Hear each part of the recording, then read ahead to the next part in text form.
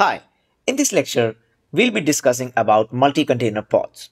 So a multi-container pods is basically running one or more containers inside a same pod.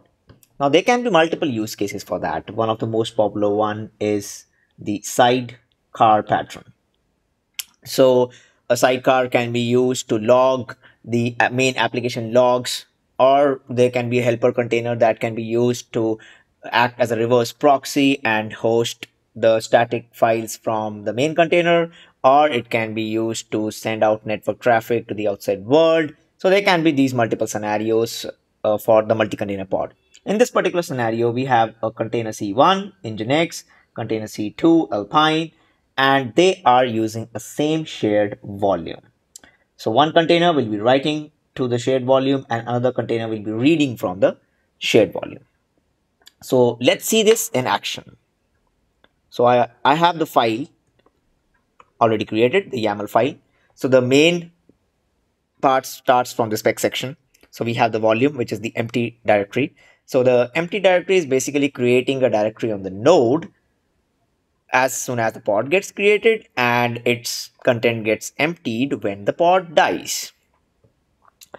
So in the content in the container section, you have two containers. This is the most important thing for multi-container pods.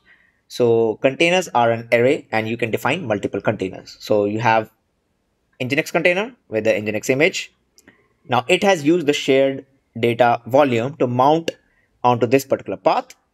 And the another container which is named Alpine is using Alpine image and the shared data volume is mounted to mem info path. In this particular example, we are just appending the date and the proc mem info to the index.html file which we are reading from the Nginx container. So let's uh, deploy this container. So kubectl apply hyphen f multi-container pod. And the pod is created, kubectl get pods. Now here we'll see two out of two because there are two containers. So two out of two containers of that particular pod are running. kubectl logs hyphen f multi container now we cannot see directly the logs of the pod because we have to specify the name of the container. So in order to do that, we'll do hyphen C nginx container and we can see logs of the container. Now what we'll do is kubectl get pods and kubectl exec into one of the containers inside the multi-container pod, which is actually the Nginx container. So hyphen C, Nginx, container. Let's open shell. Now, as I told you, the communication happened via localhost.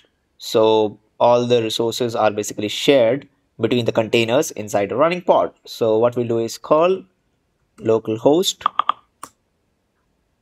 and we can see that the date and the memory is present over here. Let's do it again. And we can see the next time. So means the data is getting appended to that particular HTML file from one container and it is getting read by another container.